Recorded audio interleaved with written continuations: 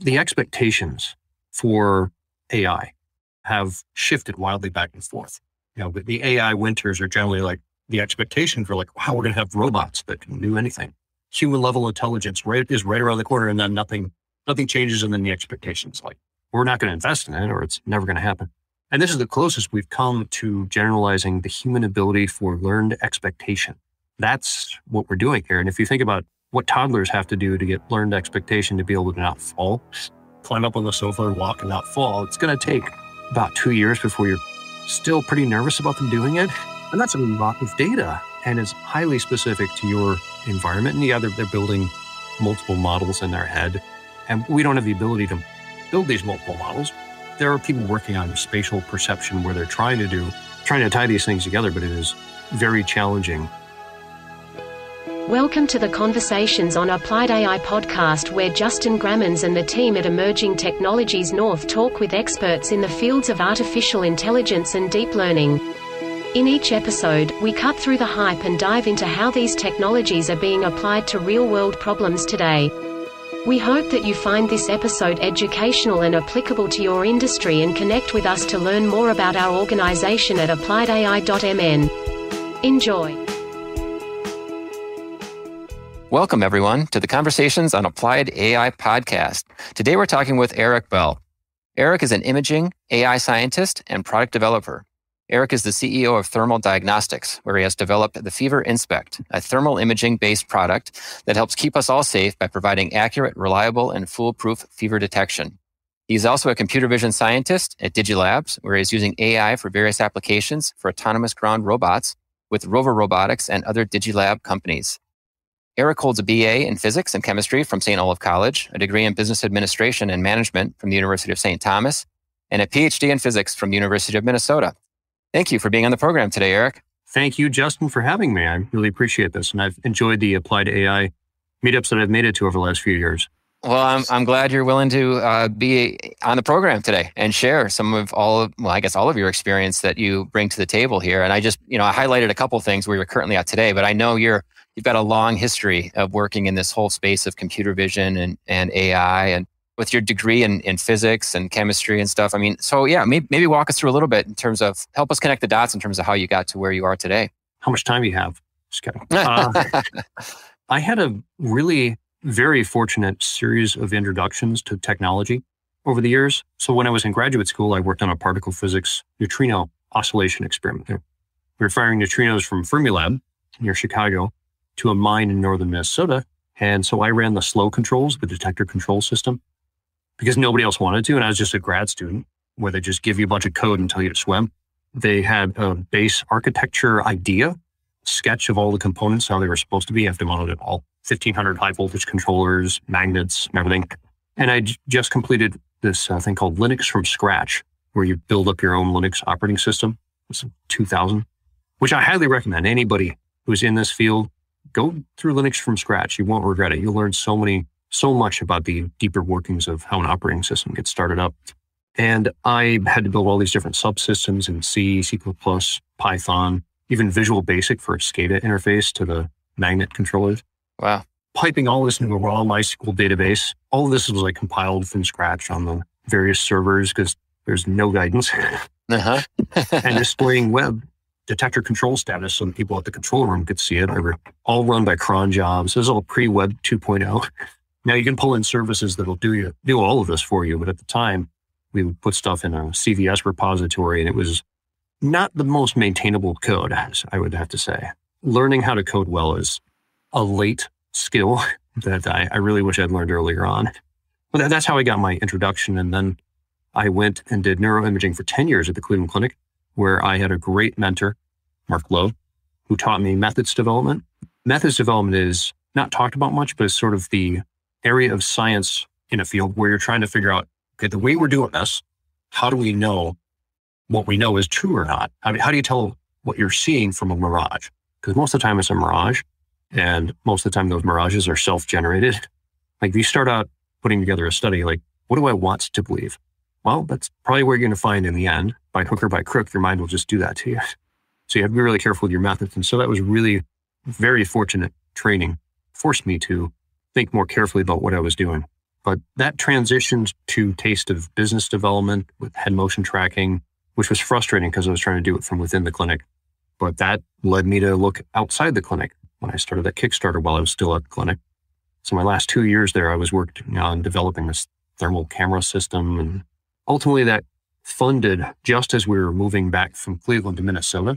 And I spent about a year and a half with a small team, Romania, Cleveland, and here, working on developing a quad core ARM processor system that run computer vision uh, algorithms on the GPU of the system. And we ran out of funds and we also lost two key components that would have required like million dollar minimum order quantity. So we cashed it about and I ended up doing consulting for Digilabs and various corporate development projects.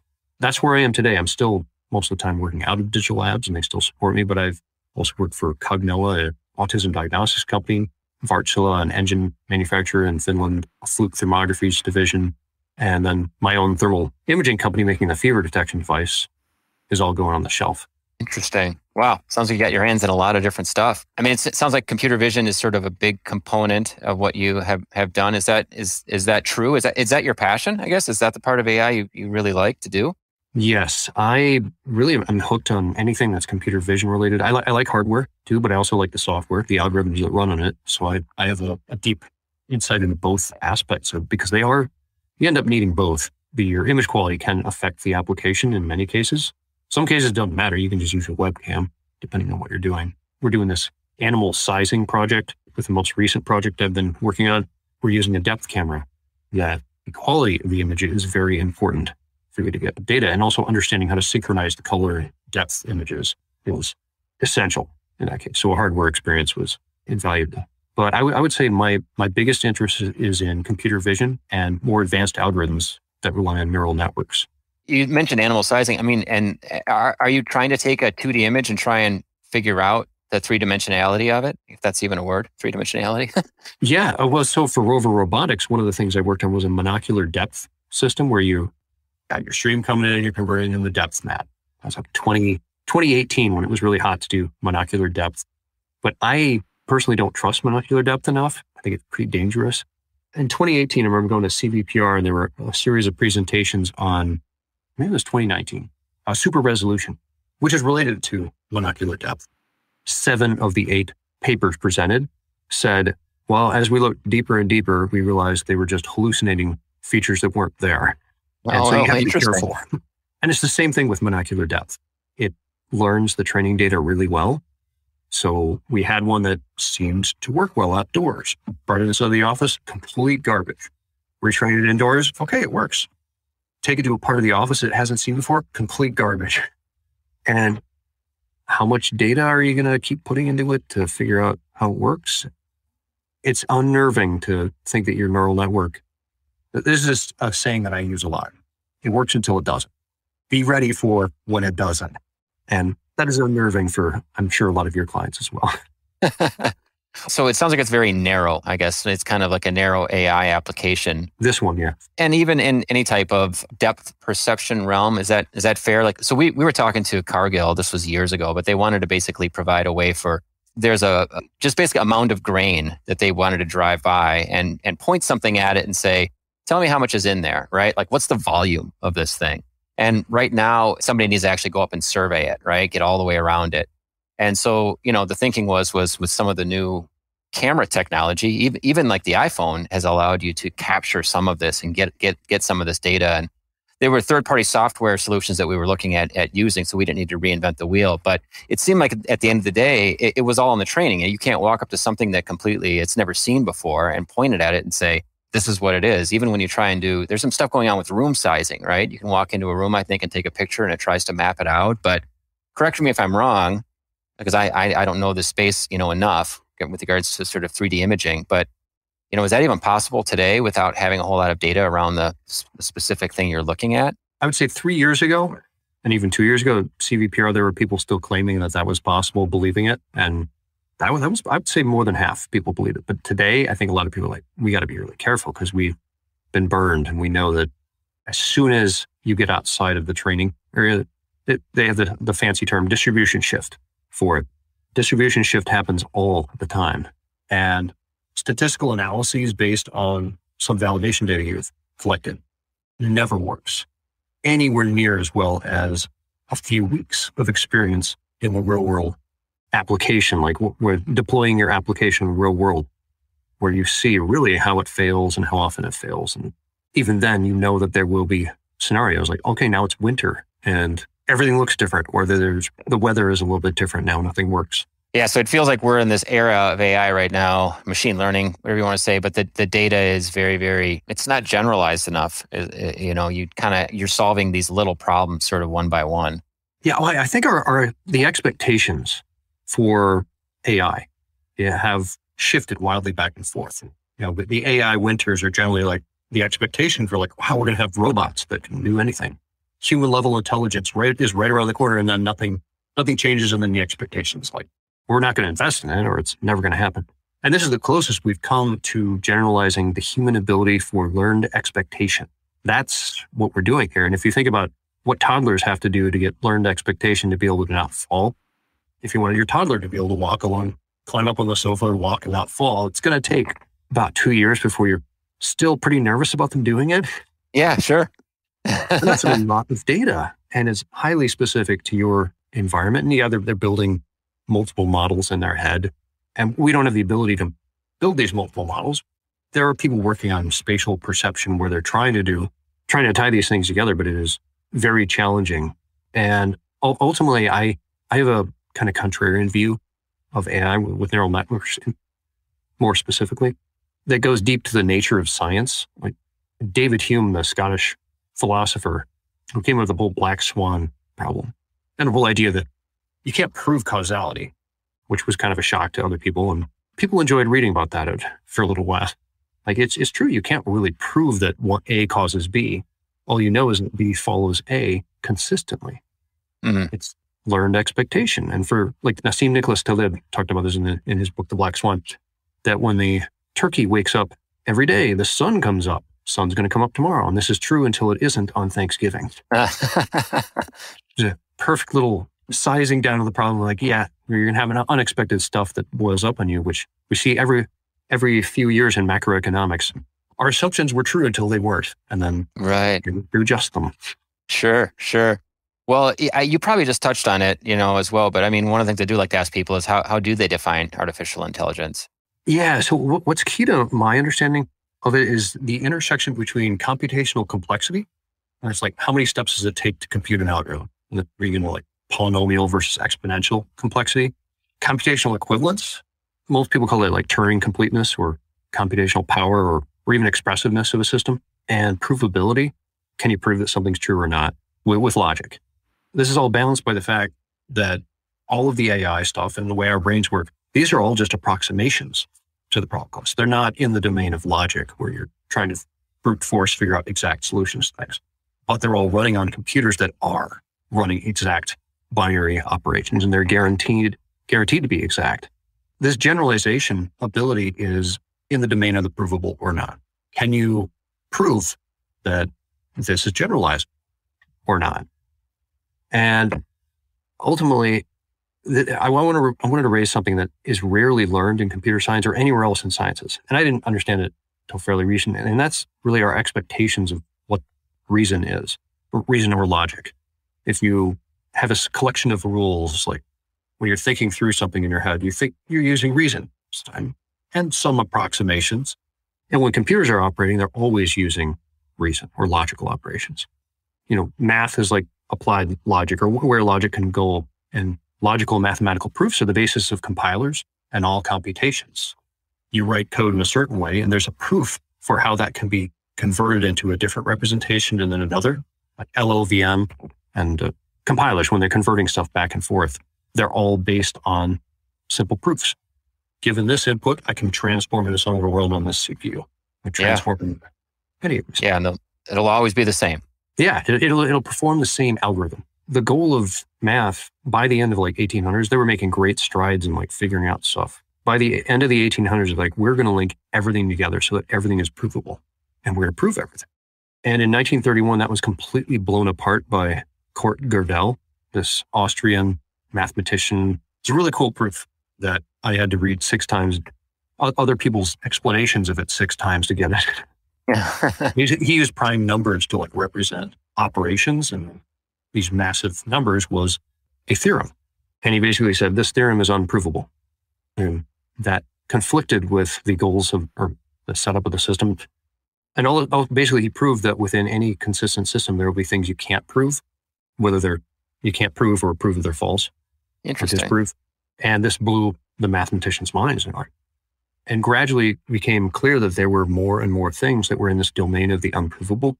And it's clear to me that like neural networks are way in the domain of the unprovable if you think of them, no matter how you think of them. But approximations are even further into the domain of the unprovable. You're just never going to have certainty.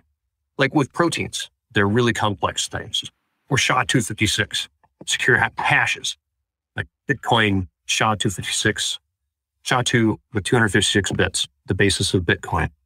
Can you generate the same hash by tweaking something slightly in a message or generating a completely different message and then hashing it? It's theoretically possible, but it's exponentially complex. You're going to run out of atoms and energy in the universe before you even get a measurable distance into that problem if you're trying to brute force it. Right, right, right. It's just so far into the unprovable that yeah. If you've got all these practically unprovable, they may as well be unprovable. Like, yeah, you can form a logical argument that if you just kept running the algorithm for 10 universes, you'll get there. Like, well, that's never going to happen. So that's practically unprovable.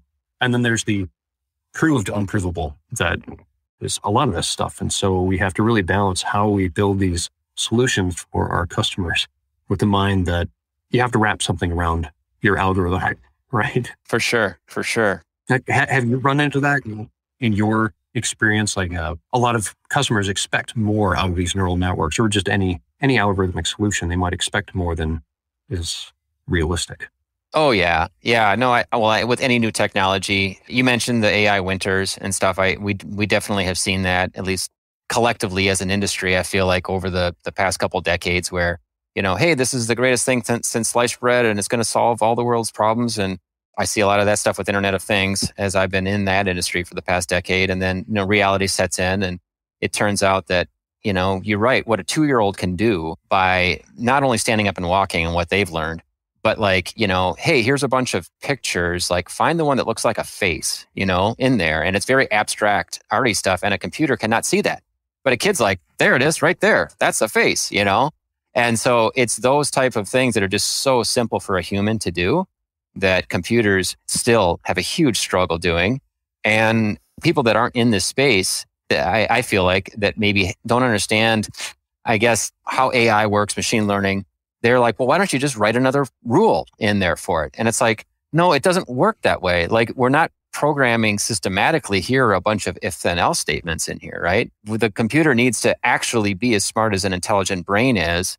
And we need to train it through lots of mathematical you know, iterations.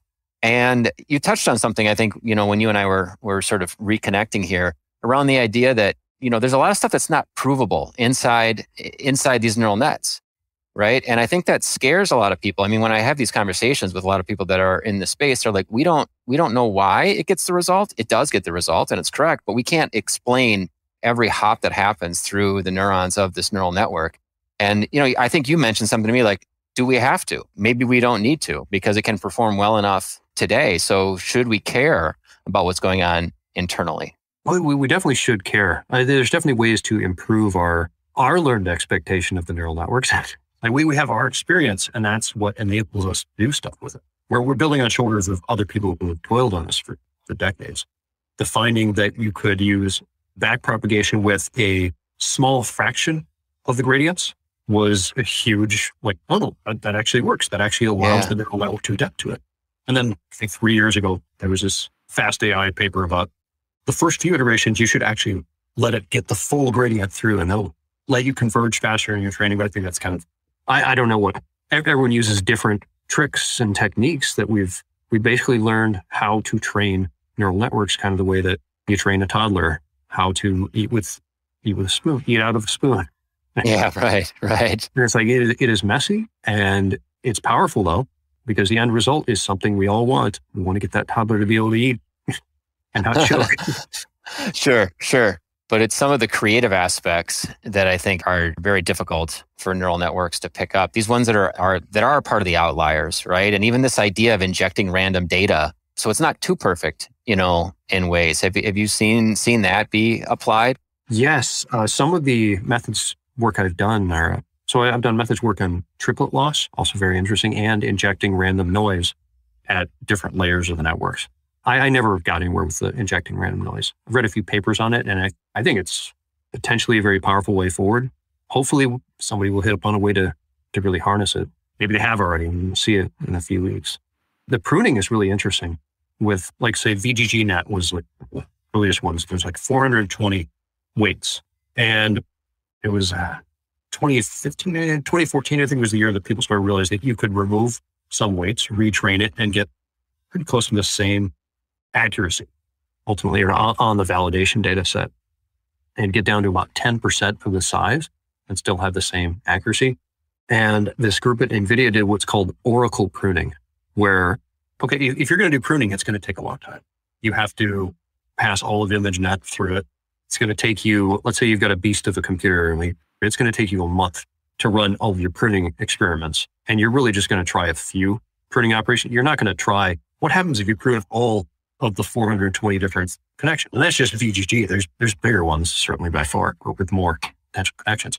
And they had access to thousands of GPUs at NVIDIA and they did, or it's they proved them all. And they found that there are, it's hard to reason about. You, you could start anywhere and still get roughly the same benefit. You randomize the, the weights and you pass data through it. You can envision as tra- traversing space. Each weight moves somewhere. Your error surface changes as as you move through this n dimensional space is impossible to really think about, but it's fun to say space because you can approximate that linearly as well. I can, I can move left to right and forward and backwards. That's easy to, to reason about. But you can start with any random weights and train it, and you'll have a completely different network. You'll, if you measure like a distance metric, like the L, L2 distance of all of your weights in neural network one, two, three through a thousand, They'll be all over the place, but they'll all be about as good, which is stunning. They will have shared features. They tend to have shared features, but there's no guarantee.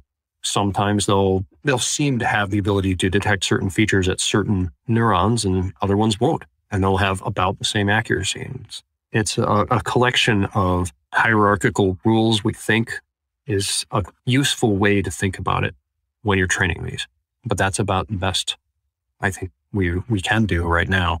Yeah, yeah, for sure. And I was just going to say, for, for people maybe that aren't into pruning, I guess, do you have a, a short definition of what that means? Pruning means removing network connections so you don't have to compute them. You don't have to run the multiply add on that particular neuron, which can speed up, which can speed things up, especially on CPUs.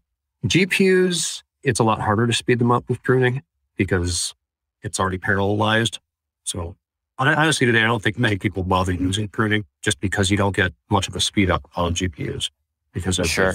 But if you need to use a CPU, pruning is very valuable. Basically, what you're doing is you're, you might have a layer that has 32 channels. You could do away with a whole channel, or you could do away with specific um, filter weights on that channel, and then just avoid those computations. And in general, people were able to get get rid of between 70 and 90 percent of the connections and still end up with a trained network the trick is that you train it and then you start removing networks and retraining. There, there's a bunch of different ways to get it, and there could be more discovered. But I, I think people have moved. I don't think anybody's really focusing a lot of effort on it besides people who that's my, that's my method. That's my area. I think the mostly it's quantization and compression of neural network to try and speed them up on GPUs or accelerator chips. Yeah, and you're you're doing a lot of stuff sort of at the edge, right? When you have these these these robots. Yes. Uh, so whether you're using like an NVIDIA Nano that's got a GPU on it, 128 cores, the big challenge with the NVIDIA products is that they, and I, I don't know about the Xavier, I haven't had experience with that yet. All of the backends, let's say in PyTorch, you'll have a two CUDA. And what that does is that calls the CUDA library to explicitly copy your network or your data over to your graphics card, which is a separate card, right? It's got its own memory. Well, not on the NVIDIA Nano or the TX1 or TX2. It's the same. They have shared memory. But for some crazy reason, they never went and like the NVIDIA engineers are making these backend changes, there is a primitive that allows you to just copy in place or not actually do the copy. So you end up wasting, you waste half your memory on those particular. plans. I don't know if that's actually changed. I should look around a little more careful, but I was doing some segmentation work on an NVIDIA Nano a month ago and it was using an insane amount of memory. And I was like, let's hold off on this until later. But you, you, you can do some of these tasks on the CPU if the CPU is fast enough and you spend enough time figuring out how to do that. Like the Raspberry Pi 4, I have a real time object, almost real time object detector running on 80 by 80 images. It's admittedly smaller, but it's a, just a standard MobileNet 3. I didn't even modify the network at all. This is just a quick get it working. What I had to do to get it working was I recompiled OpenBLAS. I used MXNet, even though nobody else uses anymore. And MXNet was, was great. It was the first one that was designed properly, and then PyTorch basically copied it, and now nobody uses MXNet. But it's still faster than PyTorch. That's funny. Yeah, I was actually just looking at that recently because I had somebody on, on the program, and they were they were they were talking the same way that, that you were like saying, "Oh, look, the MXNet's awesome," and I was like, "Whatever happened to that? It's still sitting out there as an Apache open source project, right?" Amazon did not support it very well. And internal Amazon engineers don't even use it, which is really unfortunate because it was, I thought that PyTorch 2.0 was going to redo the just in time compiler better, and they, they didn't. So it's still a little bit slower than MXNet. Anyways, by recompiling those with the right neon flags, okay. you can do up to eight multiple ads at the same time on the CPU. You can accelerate and then on a single core of your quad core CPU. I was able to get this object detector to run in 180 milliseconds. So I task locked one to CPU zero, another one to CPU two, CPU three, and then I would just send them messages every, was I'm running at 25 frames per second. So I'm getting, yeah, 50 milliseconds. So I'm sending them every 50 milliseconds, they're getting an image and amortized, they get them just, just fast enough. I might drop a frame here and there, but it's practically real time with a bit of yeah. a delay. Wow. Yeah, that's great. And you said running on a Pi 4? Yeah, Raspberry Pi 4, yeah. which yeah. are now becoming available again. uh, supply chain issues, I guess, all that stuff. Yeah, so nanos are going to be hard to get for several more months because they're, I think they're 14 nanometer mm. uh, node. The 28 nanometer node is already oversupplied, which is what the Raspberry Pi 4 is on. So oh, okay. prepare for lots of $35 Raspberry Pi 4s again. But the nano will be a while before they come out.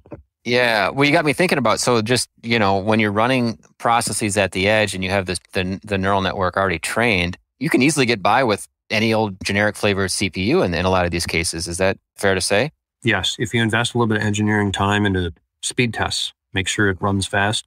Because on the on the Nano and the other NVIDIA platforms, the time it takes to transfer the memory bandwidth over eats up a lot of your gains. I was getting object detectors running in 50 milliseconds on the Raspberry Pi, I'm not that far off. right, right. I'd like to see more. Well, I also think about things that run on battery power. I mean, I, I would assume that that you know you can run stuff a lot more low power mode on a CPU versus on a GPU or anything that NVIDIA is putting out because they're pretty much built for dedicated power in a lot of ways. Do you follow RISC-V? No. Oh, you're gonna love this. So RISC-V is open source CPU architecture design it's going to be a few years before their the peripherals support, like all of the want to control video thing. And it's going to be a little while before it's fast enough and validated at you know smaller node sizes. But it will within 10 years, I'm convinced that Intel will be making half of their processors with RISC-V rather than their own. They've already committed to making some processors with ARM, a direct competitor, and they've committed to making some with RISC-V, even though it's a little early for RISC-V but it's just going to get better and better. And they've hired Chris Lattner, the LLVM guy, who then went on for Swift. He created mm-hmm. Swift mm-hmm. and did TensorFlow for Swift. And his focus is making sure that they can do massive SIMD instructions oriented specifically for neural networks. Because the specs are, are one thing, but actually running on a neural network, you can get very different throughput because of this complicated interplay of the memory bandwidth, your cache, your processor cache, your L1 and L2 cache, will completely change what you're actually going to get versus your expectations. And so having him on board, I'm expecting good things specifically for neural networks for, out of RISC-V within the next five years.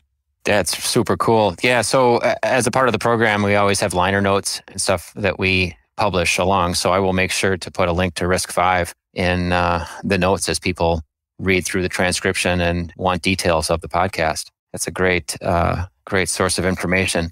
So, what tools are you using these days? It sounds like you're very much in the NVIDIA area. Do you use any stuff with TensorFlow or is it all PyTorch or like what, what are some libraries that you're leveraging?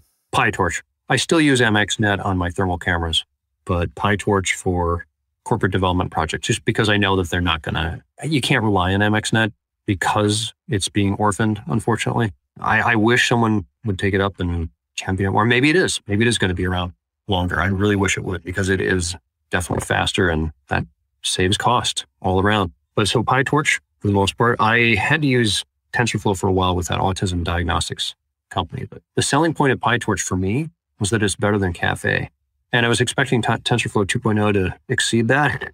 And it didn't. That's just my experience. But for me, the selling point of TensorFlow still today is that it's better than Caffe. yeah, right. that, that's just my snarky look at it. I, I, it's fine. Lots of people use it, and they've done great things at getting TF Lite, TensorFlow Lite, to run on the edge. Yeah. Accelerators that run with it. So it's well supported, certainly. Uh, I tend towards PyTorch more just because I like the, it's almost identical to MXNet's philosophy, procedural programming you can do with it. Parents. Sure. Well, what's what's a day in the life of uh, of a person in your position in all these different roles and companies? Planning, managing expectations, keeping corporate partners and teams on the same page, aligned. So there's lots of not quite administrative work, I'd say more leadership oversight role. And then when there's time, about half the day, if I'm lucky, spent on let's try to limit ourselves to a very specific small area of the computer vision algorithm or hardware, depending on what's what's needed at the moment. Set out what we want it to look like, what we know and what we don't know, and just try and figure out that one small area, document it so we can move on and not have to come back to it again. When I was younger, really up to like four years ago, I suffered from that, the disease of the, the physicist programmer. It's quite common. like, well, I'll just keep hacking away at the code until it works, right? And I, it's certainly gotten better over the years, making it more maintainable, but it wasn't until I really had an epiphany four years ago. I was like, I need to program better. I need to program ways that I don't have to come back and revisit mistakes I made. Modularity, eh, because it just eats you up. Maintenance of code.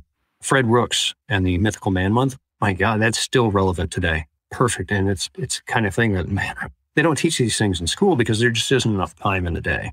And you haven't faced the pain yet. Yeah. Entrepreneurship and learning anything in life. If the feedback is unclear, delayed, or ignorable, we don't learn anything.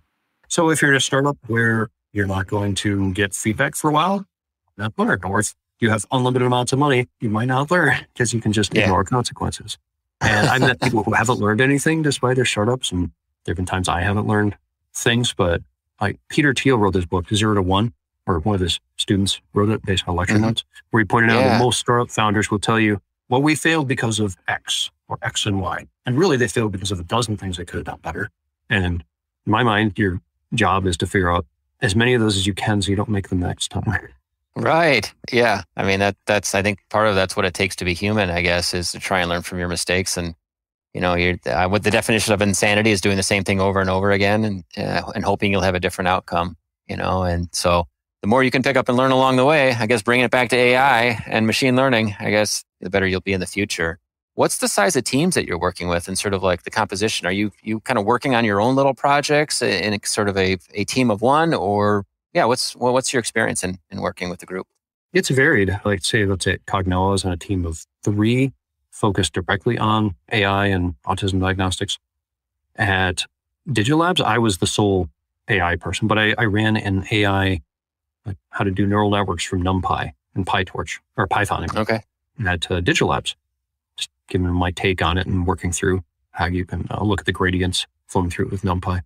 And at let's see, thermal diagnostics, when the pandemic began, and I was like, I see all these fever screening solutions. They seem like a great way to reduce our risk, but I see all these stupid, crazy ways of doing it. Like they're forcing people to set up a black body, which is a known standard candle. It's glowing in the thermal domain. So you can't actually see it, but it's, it's always coated with a black looking surface because it's designed, engineered to be highly emissive, which skin is also highly emissive.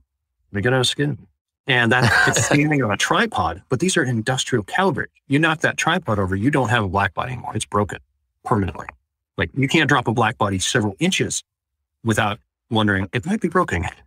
And so I was like, this is crazy. Why don't you integrate the black body into the device itself and correct for air temperature and correct for distance to target and use a face detector? You make a much simpler, easier, foolproof application that doesn't require the customer to set up a basically a site a laboratory experiment in their entryway.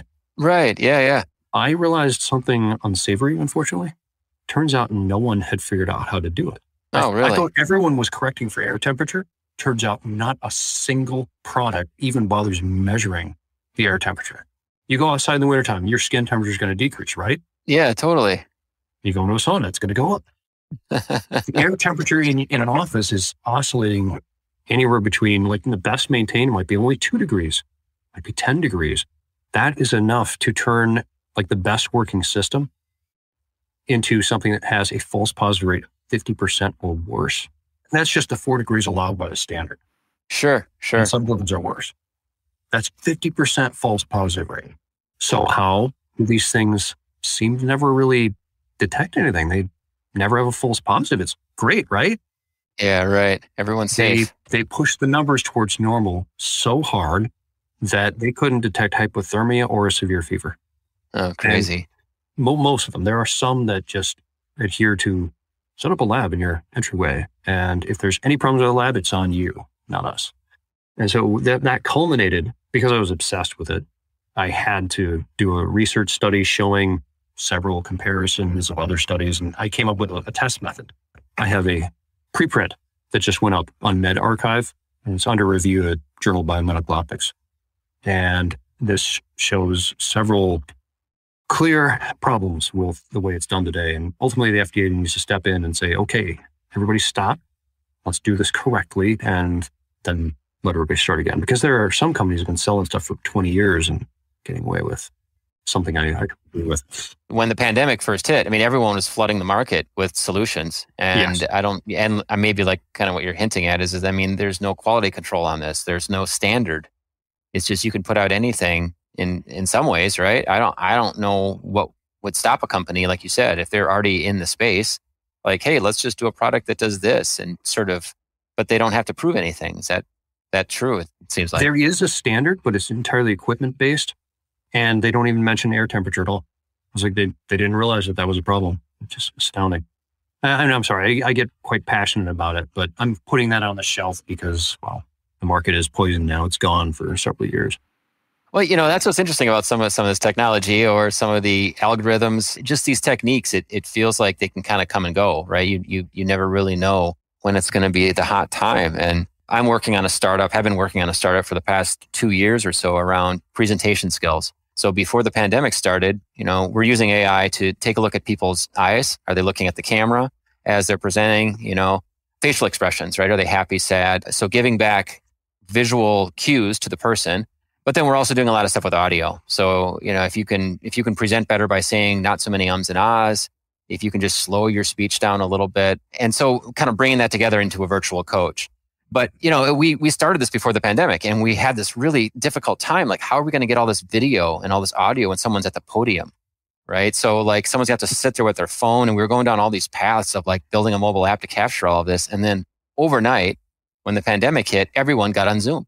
And we're like, ta-da. Like i mean it was actually kind of make lemonade out of lemons in a way because now all of a sudden you and i are in these meetings and everyone's in these virtual meetings and my face is here front and center and the audio is really good. You can hear everything. And so you know it was just kind of one of these things where the market changed in in in our in our favor. Now a lot of other people doing the same thing so it's not like we had the corner of the market but it was amazing that like because of covid now all of a sudden everyone went online and this piece of this this technology and this startup that we're working on now seems very very relevant when it was very difficult to not get the data or hard to get the data, right? That's that's one thing I think that's sort of changed now is is this this idea that at least in our world, everyone's in front of the screen, but also everyone's at home and you know, Netflix is getting a lot more subscribers. I mean, just it just this whole digital world feels like there's just a lot more data we're giving away today. Your application now has data that you don't have to really struggle and fight for like a lot of startups do.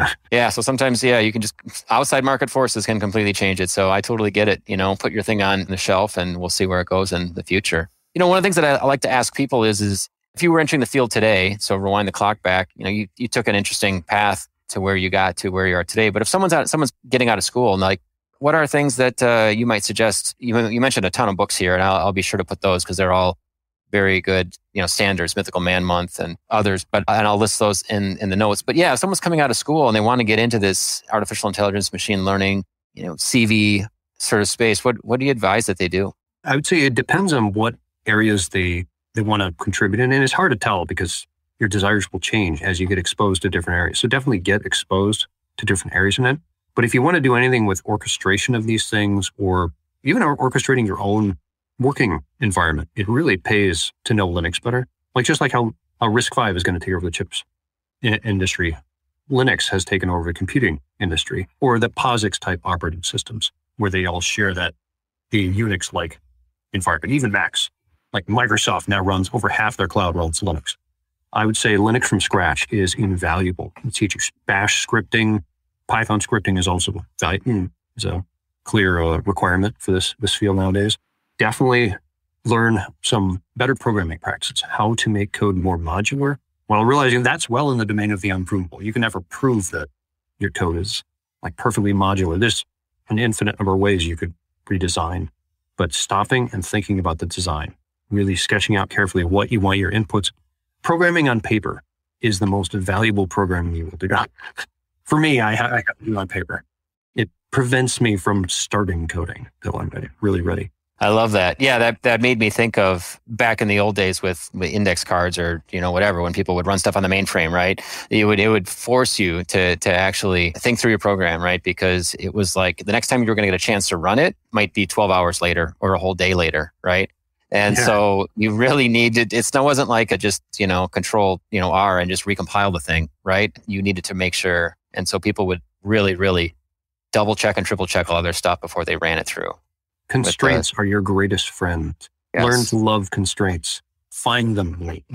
Build more in if you can. Well, sure, sure good programming practice. You know, I think object oriented design, you know, by Booch and others, you know, that are they're just they're they're really good books by Gang of Four. These, these are these are things that I I came to later in my career because I was I was kind of a little bit of a cowboy uh, coder the beginning, and then I kind of I I started working with other developers and I started seeing patterns emerge, and I'm like, what what is this all about? And started you know stepping back and realizing, oh my gosh, yeah, there's general programming principles that you can do that you can put in today that will help you create uh, you know, more flexible code in the future. So I think that's kind of what, what, what you're getting at.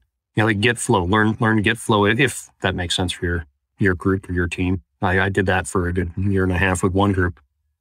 Uh, another group, it was more just, we, we split off into modular sections of the code. If the underlying architecture designed modularly, then it can make a lot of sense to split off into different parts of it, but you still have to align on how everything's going to talk together. For sure. Yeah, that's where I think software is a little bit more of a art than it is of just a straight science or just procedural. One of the things I touched on earlier, talking about you know, logic and provability and all that, I, I, wish more people were just aware that, like, there, there was a paper 15 years ago about why most published papers or study, most medical studies are false. John Ioannidis, Ioannidis published that. And it's true, most published papers, most work, published work is non predictive they're publishing a mirage. That's not because the scientists are unethical or incompetent. For the most part, there are certainly some sociopaths amongst the scientists, less than 10%, I'd say. I mean, I worked at a hospital. There were, I worked with a fair number of really intense, scary people. so yeah, definitely psychopaths who then stole work that we've done. And for the most part, it's, you're trying to get funding. You're trying to, you're trying to find a way forward on something. Let's say we're studying multiple sclerosis and we're looking at lesion volumes in the brain and trying to understand is there a way we can predict the course of disease if it's going to convert to a different type? So a drug trial. So we know each time you look at the data, you have a chance of finding something that's a mirage.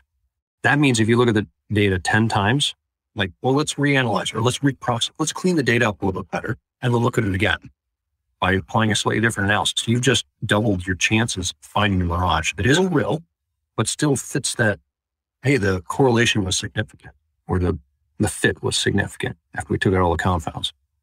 And that is still to this day the most common cause of this. And people are aware of, there are people who are aware of this in the field and like, well, I have to publish this because it's promising. And I've taken as much care as I can to justify the and limit the number of times to reprocess the data. But that's why most of them are false. And it's, it's just going to keep on happening. And there's, there's gold in there, but it's hard to find. And that's, if it was easy, we'd already have it. And right. Yeah. this stuff is unprovable and it's gonna gonna remain so, which means yeah. we have work to do, we will always have work to do. Makes it good for scientists, I guess, people that are in this field, for sure. Well, look for the silver lining. There's work for all of us. There will always be more to do. Yeah, we can be busy for. well, good, Eric. I I appreciate your time today. Before we we end here, how do people get a hold of you? Just uh, I think you're on LinkedIn, right? Is that probably the best place? Yeah, that, that's that's the best way to get a hold of me. I'd say. Excellent. LinkedIn is fantastic nowadays for communicating on in this domain for business opportunities or just it's like a perfect, great networking site. And I don't use Facebook anymore. I've right. that for 10 years. More and more people. a lot of people. Yeah, yeah, for sure. Was there anything else that I maybe missed that you wanted to share? Oh, I could talk for hours on various things, medical sure. devices and things that I think are suspicious yeah. in that area, but I don't want to get sued. So we'll leave that for private conversation. Sure, sure. Understood. I'll put a link to your LinkedIn profile here in the liner notes here. And I just, again, appreciate all of the time that you gave us today and your, your input. And, uh, you know, you got your hands in a bunch of different stuff over a number of decades here. So excited to see where you go in the future and how artificial intelligence and machine learning plays into that. Sounds like it's going to be a big component. Wish you nothing but the best, but can have you maybe back on the program next year or so and we'll touch base. That sounds great. Thank you so much for having me, Justin, and have a, have a great rest of your day. You've listened to another episode of the Conversations on Applied AI podcast. We hope you are eager to learn more about applying artificial intelligence and deep learning within your organization. You can visit us at appliedai.mn to keep up to date on our events and connect with our amazing community. Please don't hesitate to reach out to Justin at appliedai.mn if you are interested in participating in a future episode. Thank you for listening.